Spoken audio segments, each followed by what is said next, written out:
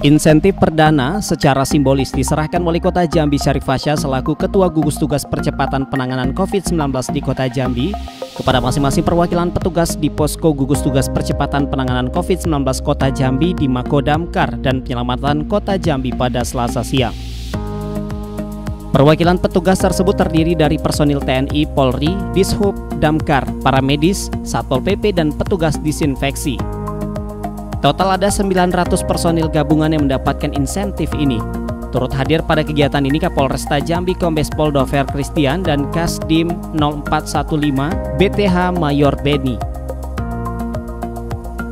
Wali Kota Fasya mengatakan seluruh petugas yang berjuang di lapangan sebagai garda terdepan penanganan wabah pandemi COVID-19 di Kota Jambi adalah pahlawan kemanusiaan masa kini. Hal tersebut dikarenakan seluruh petugas telah berjuang bertaruh nyawa dan siap mengorbankan segala sesuatunya untuk melindungi masyarakat dan memutus mata rantai penyebaran COVID-19 di kota Jambi. Lebih lanjut, Fasya juga menyatakan insentif yang diberikan negara kepada seluruh petugas belum bisa membayar jasa dan pengorbanan yang diberikan oleh seluruh petugas. Kami berikan insentif sesuai dengan yang kami janjikan yang insya Allah nanti insentif yang keduanya akan kami keluarkan lagi sebelum lebaran ini nantinya. Karena saat ini mereka sudah bertugas lebih kurang sudah 43 hari di lapangan, yang siogianya 30 hari harus kami bagikan. Jadi nanti 30 hari kedua nanti akan kami bagikan lagi di sebelum lebaran nanti.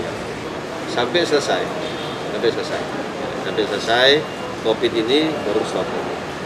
Bisa dua bulan, bisa tiga bulan, bisa empat bulan. Suci Mahayanti, Jambi TV.